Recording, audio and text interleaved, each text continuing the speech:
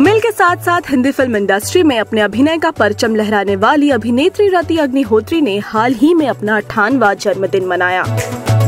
रति का जन्म मुंबई के एक पंजाबी परिवार में हुआ। रति 10 साल की उम्र से मॉडलिंग कर रही हैं।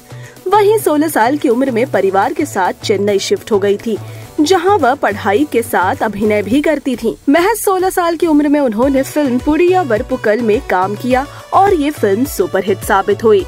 इस मूवी के हीरो भाग्य राजा ने ही रति को तमिल सिखाया और एक इंटरव्यू में रति ने खुद ये बात कबूली कि वो गलती से पंजाबी परिवार में जन्मी है, लेकिन दिल से वो तमिल ही हैं। इस फ़िल्म के बाद उन्होंने रिकॉर्ड कायम कर दिया और तीन साल के भीतर करीब 32 तेलुगु और कन्नड़ मूवीज़ में काम किया अपने फिल्मी करियर में रति ने सभी बड़े एक्टर्स के साथ काम किया। उन्होंने यह 1981 में कमल हसन के साथ बॉलीवुड फ़िल्म एक दूजे के लिए में काम किया।